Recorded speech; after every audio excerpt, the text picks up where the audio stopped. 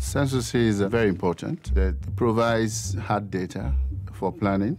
The United Nations Population Fund is the lead agency within the UN system in supporting national efforts, particularly in developing countries, in conducting their census.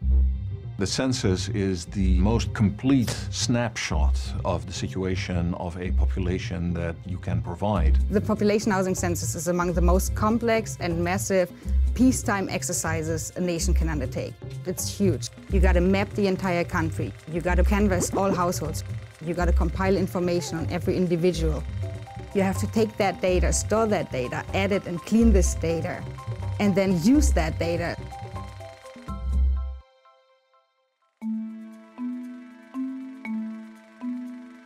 Chad is uh, one of the African countries who have been encouraged by the UN system to organize a census. But due to political situation, Chad have not been able to organize regularly a census.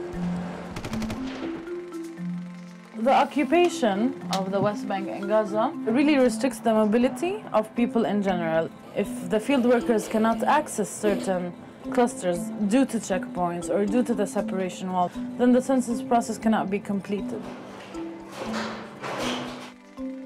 Indonesia is a country that's been growing quite remarkably. The pace of migration, the pace of urban growth over the past decade or so have far outstripped the capacity and the ability of local governments to provide services. As most of Europe, we have in serious demographic issues of shrinking populations. One woman in her lifespan is, uh, in average, having 1.5 kids, which is not enough to keep us at the certain level. The state now recognizes the existence of 36 nationalities made up of indigenous peoples.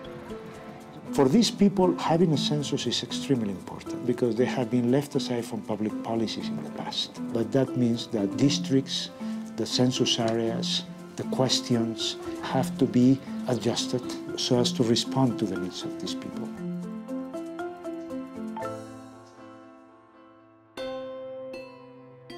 Gracias a la asistencia técnica y financiera del UNFPA, el INE de Bolivia ha podido presentar al gobierno un proyecto de censos que lo vamos a llevar a cabo el próximo año.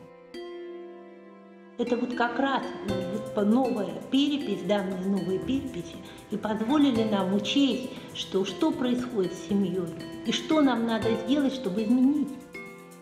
For us to really understand the process of urbanization, the process of how cities evolve and change in the past, in the present, and in the future, we need to have the latest data that can only be provided to us you know, by a full census count.